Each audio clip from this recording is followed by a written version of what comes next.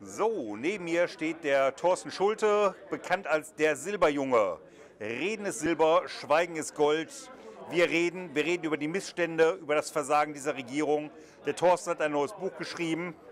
Hier haben wir es, Kontrollverlust über das Versagen unserer Kanzlerin, das Versagen unserer Regierung. Wir empfehlen dieses Buch. Thorsten, sprich zu uns. Also vielleicht kennt ihr den Spruch von Karl Lagerfeld, äh, wer Jogginghosen trägt, der hat die Kontrolle über sein Leben verloren. Darum geht es in diesem Buch nicht. Es geht um den Verlust, äh, um den drohenden Verlust von Freiheit. Es geht ums Bargeld, das bedroht ist, auch wenn ihr das vielleicht gerade nicht glaubt. Es geht um die Rechtsbrüche der Kanzlerin, es geht um den Euro und die Zukunft, es geht um Vermögenstipps, da steht ganz, ganz viel drin.